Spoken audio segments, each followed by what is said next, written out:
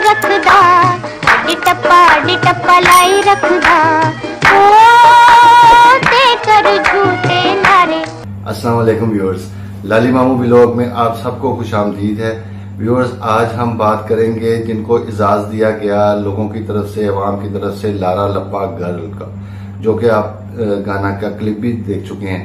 और पाकिस्तान की जो पहली लक्स गर्ल थी वो भी उनको एजाज़ हासिल है कि पहले सबसे जो लक्स की एड में जो आए वो मीना शोरी थी। और उनका जो तीस साल कैरियर था पाकिस्तान के अंदर उसका उनको एक एजाजी अवार्ड भी दिया गया खिदमत की वजह से गवर्नमेंट ऑफ़ पाकिस्तान की तरफ़ से।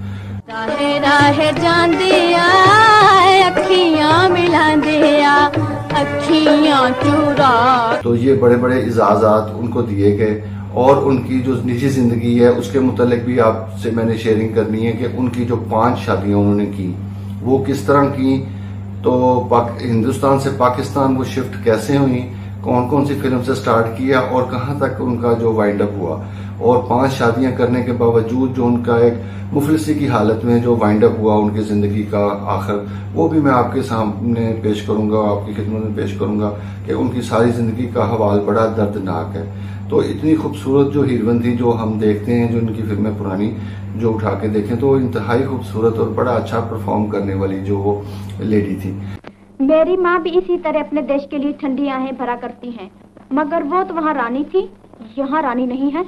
आप वहाँ भी कवि थे यहाँ भी कवि हैं। आपको कविता लिखने से कौन रोकता है? व्यूअर्स 1941 में मीना शौरी जो थी अपने बेनोई साहब के साथ एक फ़िल्म की ओपनिंग पर गए। उस फ़िल्म का नाम था सिकंदर। उसके जो प्रोड्यूसर थे, वो सोराब मोती साहब थे, जिनका हिंदुस्तान फ़िल्म इंडस्ट्री में आज तक बहुत नाम लिया जाता है। तो उस फ़िल्म की ओपनिंग पे, सिकंदर की पे तो उन्होंने जब इस मीना शोरी को देखा तो इनका जो असल नाम था, वो खुर्शीद जहाँ था। तो उनको ये बहुत उनका चेहरा अच्छा लगा। तो उन्होंने अपने उसी फ़िल्म में उनको कास्ट कर लिया और उनका नाम मीना रख दिया।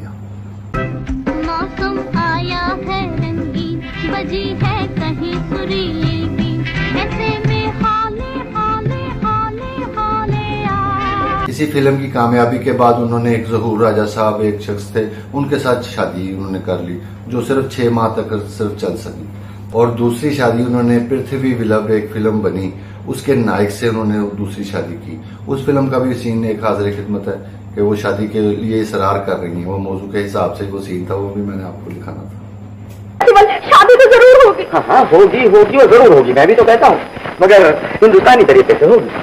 मैं दूल्हा बनूँगा, तुम दुल्हन बनना और और नासिर साहब के साथ एक साल के बाद उनकी भी दूसरी जो थी वो तलाक हो गई। उसके बाद व्यूअर्स शहर से दूर एक फ़िल्म बनी। व्यूअर्स तीसरी जो उन्होंने शादी की वो रूप के शोरे साहब थे। उन्होंने एक फ़िल्म शुरू की थी, चमन। चमन वो फ़िल्म अधूरी थी कि उनके पास सरमाया खत्म हो गया।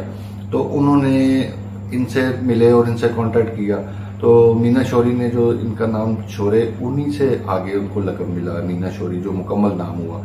और मीना शौरी बेगम ने जो अपने पास से उस फ़िल्म पर पैसे लगाए और किसी को इल्म भी नहीं होने दिया कि वो पैसे मीना शौरी खुद लगा रही हैं। तो उन्होंने वो फ़िल्म जो जो चमन थी, वो मुकम्मल करवाई। और उसने जो बिज़नेस किया, उससे जो पैसा आया तो उन्होंने रूप के शौर्य साहब ने एक और फ़िल्म प्रोड्यूस की, जिसका नाम था एक थी लड़की। उसमें उन्होंने मीना शौरी को भी कास्ट किया। और उस जमाने में सीधी सारी जो फ़िल्में बनती थी और ड्रामे पे मुनसर होता था वो सारा कुछ, उस जमाने में इन्होंने कॉमेडी का रवाज दिया कि औरत भी एक कॉमेडी भी कर सकती है, कि हँसी वाली चीज़ें करे और इस किस्म का। तो उसमें एक मैनेजर का सीन है कि वो मैनेजर की नकल उतार रही है और उनकी जो सारी, वहाँ पे और लोग काम करने वाली लड़कियाँ वो उनका मज़ाक उड़ा रही हैं और बड़े मज़ेदार सीन है। वो मैं आपसे शेयर करना चाहता हूँ। ध्यान जरा काम में रखना। मैनेजर साहब और व्यूअर्स इसी फ़िल्म का एक गाना था जो मैडम लता ने भी गाया और उसी गाने से इनको लारा लपा गर्ल का भी खिताब मिला। तो उस गाने के बोल कुछ यूँ थे कि लारा लपा लारा लपा लाई रखदा।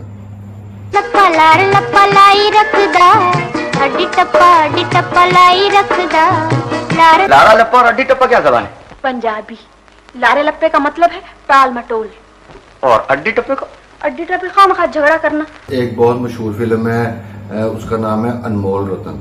वो भी बड़ी ज़बरदस्त फ़िल्म थी। फिर एक फ़िल्म बनी ढोलक। तो उसमें एक गाना बड़ा मशहूर था कि पल्ले फूटी पाई नहीं।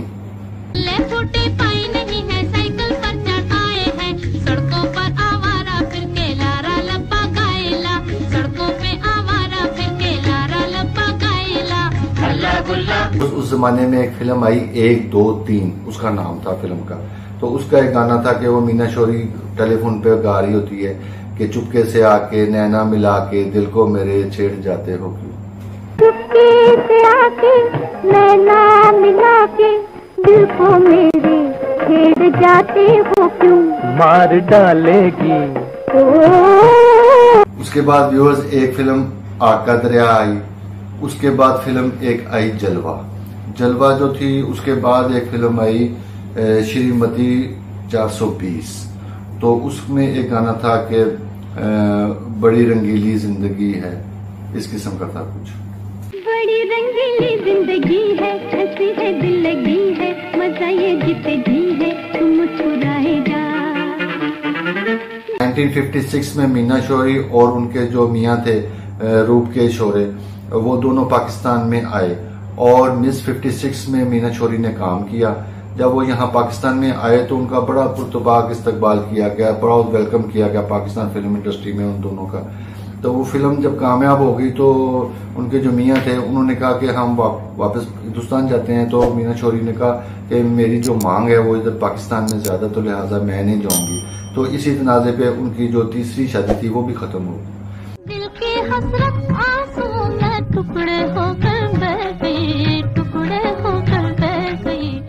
तलाक हो गई तो शौर्य साहब हिंदुस्तान वापस चले गए और मीना शौरी जो थी, उन्होंने बहुत कोशिश की कि मेरे नाम से शौर्य आगे से हट जाए, मीना ही रह जाए। लेकिन वो बड़ा नाम तस्दीक शुदा हो गया था और पूरी दुनिया पे उनको इसी नाम से जाना जाता था और इसी नाम से पुकारा जाता था।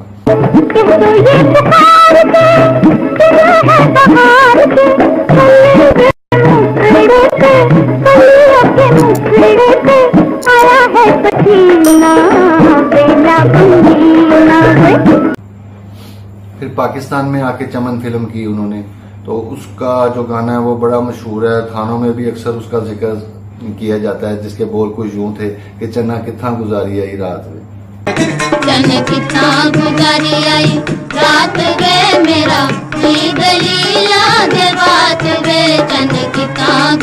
और वो सरफरोश का वो जो गाना है वो जो ज़ुबान जदयाम था उस जमाने में आज भी लोग उसको गुनगुनाते हैं। कि तेरी उल्फत में सनम दिल ने बहुत दर्द सहे और हम चुप ही रहे। और व्यूअर्स, चौथी जो शादी थी, उन्होंने रजा मीर साहब से की, जो कि ज़्यादा देर तक ना चल सकी। 1960 में हिंदुस्तान में एक फ़िल्म अनाउंस हुई, जिसका नाम था जट्टी पंजाब थी उसके लिए इनको ऑफ़र किया गया तो इन्होंने ऐलान भी कर दिया था कि मैं जा रही हूँ इंडिया। तो पाकिस्तान के लोगों को था कि ये ना जाए। और हिंदुस्तान में इसके बरक्स बहुत खुशी मनाई जा रही थी कि हमारी तो इतनी बड़ी हीरोइन है दोबारा पा, पाकिस्तान से हिंदुस्तान शिफ्ट हो जाएगी। लेकिन वो किसी वजूहत पे उन्होंने वो वहाँ जाने से इनकार कर दिया। वो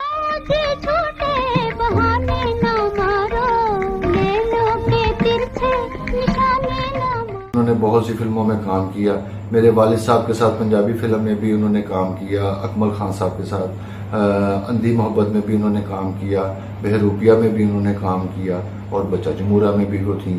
तो फ़िल्म में एक बनी मौसीकार उसका एक गाना बहुत खूबसूरत है कि ढलने लगी है रात।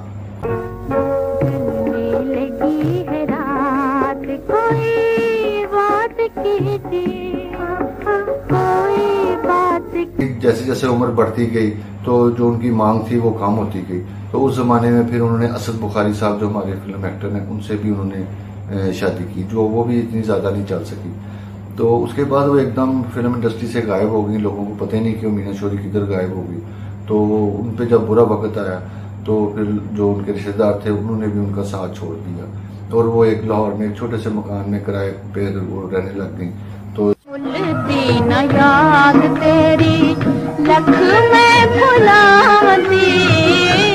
जो Pakistan art council Rotary club है, वो इनको खाना वगैरह मुहैया किया करते थे ताकि वो ज़िंदा रह सके।